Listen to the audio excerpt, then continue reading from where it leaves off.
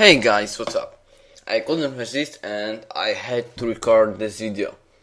Yeah, we've got four army camps, each close to other, and my lovely pumpkin duke. Let's use guardian angel.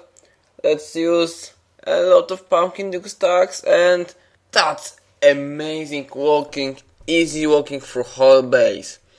They don't care about towers, they don't care about heroes. They just walk through whole base without any problems.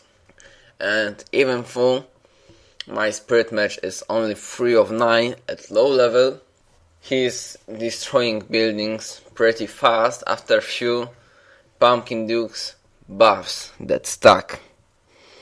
Yeah, this guy had low level heroes, but it doesn't matter because every single hit was was something like it was one hit and die.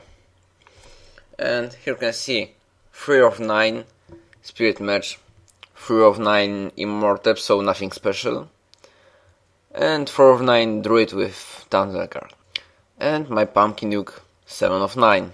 Thanks for watching, see you soon.